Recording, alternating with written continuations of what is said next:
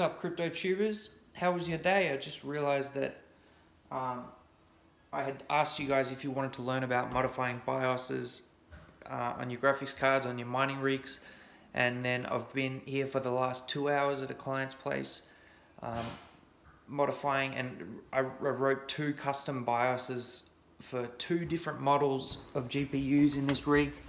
He's got um, three Aorus RX 580 8 gigabytes and three RX 580 gaming 8 gigabytes, both gigabyte cards. Very similar cards, but there were a couple of little different things in the BIOSes that I that I wrote.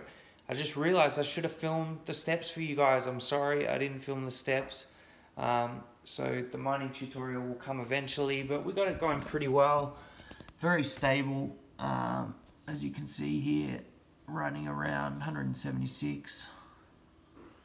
It was up 177 before, but you know, churning out the shares.